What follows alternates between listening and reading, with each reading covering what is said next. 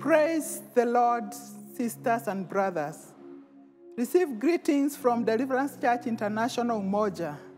My name is Margaret Mainairogo, and once again, grateful to God for giving me an opportunity to minister to us. Today is our third day on the devotions based on the rich wells of Abraham, the wells that he left us. We have seen obedience goes hand in hand with faith, and without faith, we cannot please God. And so we need to endeavor to live by faith day by day. Let us pray. We thank you, Lord, for yet another opportunity to learn more from your servant, Abraham. We thank you for the rich legacy he left us. And this morning, we pray that you help us to know some of the things that he did that kept him moving on, that kept him loving you, that kept on having faith in you. So, Lord, I pray that you open our hearts of understanding by your Holy Spirit, that we will hear from you. Receive honor this morning in Jesus' name. Amen. So, Genesis again, 18, 26, 18. Isaac dug again the wells of water, which they had dug in the days of Abraham his father, for the Philistines had stopped them after the death of Abraham. And he called them the names his the father had given them. Redigging is hard work. One of the wells we can redig is the well of diligence. Abraham, I believe, would not have achieved or owned the wealth he had were it not for his diligence. Abraham worked hard, while at the same time kept the faith and his reliance in God. The opposite of diligence is laziness or unwilling to work. Whose example would we like to follow? I want to believe every one of us would want to leave a rich legacy like Abraham, and therefore we don't want to be lazy. We want to be diligent. The digging of wells is not an easy task. It involves getting all the soils within the well out to get where the water is. Now, this reminds me when we were growing up, water was a very rare commodity. We had to walk for about two kilometers to get water for household use. It wasn't easy, considering the other house, uh, household chores we were doing. So, for mom, it wasn't easy when we reopened schools. And one holiday, we plotted a plan with my sister. We decided to dig a well so that mom would get water near home. We had already heard from dad where he thought if ever he was to dig a well, where water would be found. However, he was like taking forever to dig that well that we so much needed. So we thought we could start the process and perchance maybe get the water. So we, one day when he was away and we knew he was not coming soon, we decided to embark on our program. We were excited to do it, but soon realized that it was not as simple as we thought. The more we got, when we got about four feet deep, we started getting tired. We ought to have had a better plan. So digging a well is not simple, or not, or digging, and uh, doing any kind of work is not simple.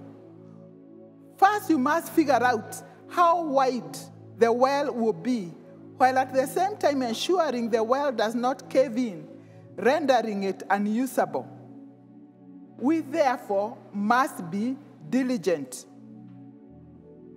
A diligent person is one who is steady or one who is stable, one who is serious with what they are doing.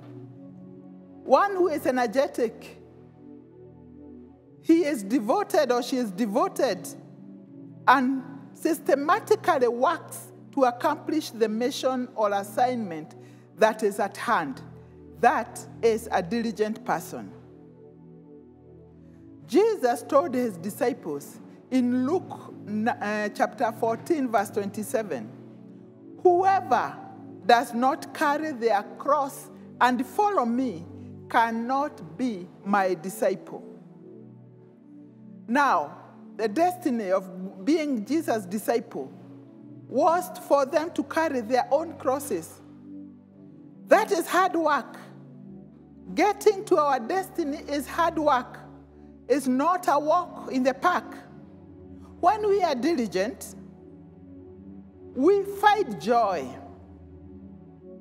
and satisfaction in doing God's work.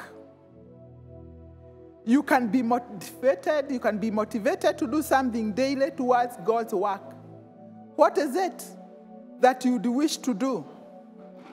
It may be it's prayer for the servants of God or witnessing in your neighborhood or where you are working. Whatever it is, do it. Do something. Now, when we think about diligence, a perfect example we get um, is from Proverbs 31, woman. The Bible says in verse 17, she is energetic and strong, a hard worker. New Living Translation puts it that way that she is energetic and strong, a hard worker. That's a diligent person. Reading through this chapter of Proverbs, she works it out all by her own will, her own volition. No one forces her. She wakes up early in the morning. She feeds her family. She buys purple. She helps the poor. I encourage you to read that chapter of Proverbs 31 and see how diligent this woman was. She does much, much more than I have said. And I read about this woman with a lot of admiration. We need to act without having to be told what to do all the time. It is our responsibility to be self motivated like that woman of Proverbs 31. But you know what? Sometimes we wait to be given direction. But with the things of God, we need to be self motivated. We need to know there's no one telling you, wake up and pray. There's no one telling you, you read the word of God. There's no one telling you, you can help this person. it's got to be you. You've got to be diligent. Like no one pushed you to get born again. In the same breath, be ready without coercion to serve God. Because when you received Jesus as Lord and Savior, He endowed you with a lot of energy to do work. Even when things get tough, don't give up. Keep going. Keep the focus. The one who called you is faithful. So we need to be diligent. As we redig the wells of diligence, there is a, a reward of hard work. Proverbs 21, verse 5 says that good planning and hard work leads to prosperity. But hasty shortcuts lead to poverty. I want to believe, as you listen to my voice, that you would wish to be prosperous. You do not wish to live in poverty. But the secret, the Bible tells us, is good planning. And not just good planning, but put some hard work in it. Since Abraham lived by faith, and it was credited to him as righteousness. Remember, we are the sons of promise, and we can also be diligent in what we are doing. Let me close by quoting Paul writing to 1 Corinthians chapter 15 verse 58. Therefore, my brethren, or my beloved, be steadfast, immovable, always abounding in the work of the Lord, knowing that your labor in the Lord is not in vain. There is no one who is diligent and he lives in poverty. Proverbs has just told us there is no one who wakes up early in the morning and goes to work and comes back empty unless he had not planned, because we have been told that you need to plan and to work hard. So today, as we continue, what is it that you are set to do? Plan it well, be diligent in it. And I can assure you, by the end of the day, you will see, just like Paul told the Corinthians, that your hard day's work was not in vain.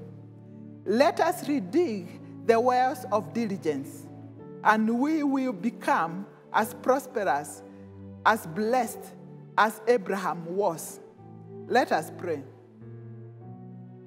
Our Heavenly Father, we thank you and we honor you this morning. Thank you for speaking to us so clearly that we have examples upon examples in the Bible to pick from on why we should not be lazy, on why we should work hard, because there is reward for hard work.